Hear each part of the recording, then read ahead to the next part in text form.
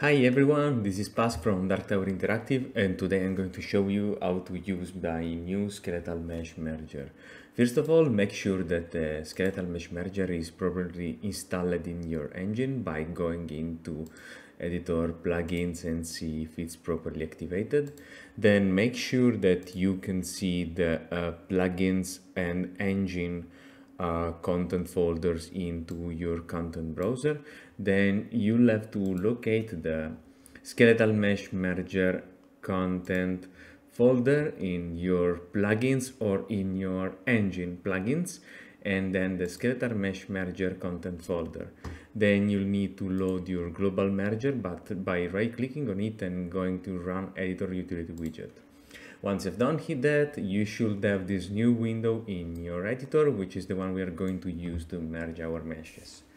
The, red, the array that we'll need to fill is the meshes to merge array that we can find here in the merge params with basically the meshes that we need to merge.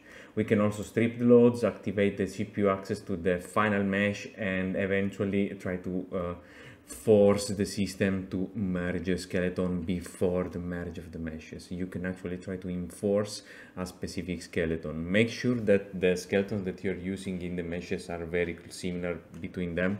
Otherwise, of course, the system will not be able to, to merge them. Uh, so to give you an example, I've prepared a mesh from the Polyforia package.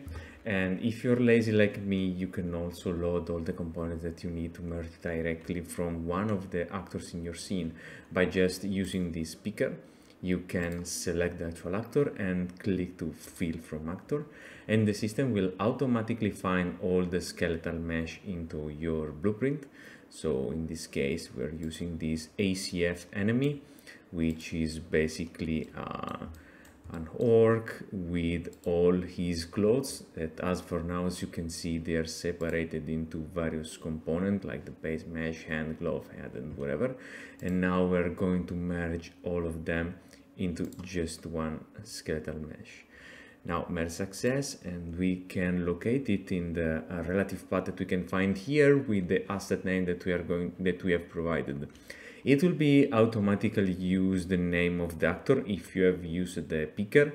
Otherwise, you can specify your own name. Now we will find it in the uh, mesh merge folder, which is right here. And here it is our merged skeletal mesh. As you can see, they are exactly the same. They are identical, but of course, the second one, the merged one, will require way less draw calls. So it's much more uh, optimized while still having the exact same uh, quality. And of course, as you can see, I have merged other meshes here and yeah, they look exactly as their uh, divided counterpart. Thank you for watching and if you have other questions, please feel free to join our Discord channel and request support into the dedicated uh, skeletal mesh merger support channel. Thank you for watching and don't forget to subscribe to the YouTube channel. Thank you.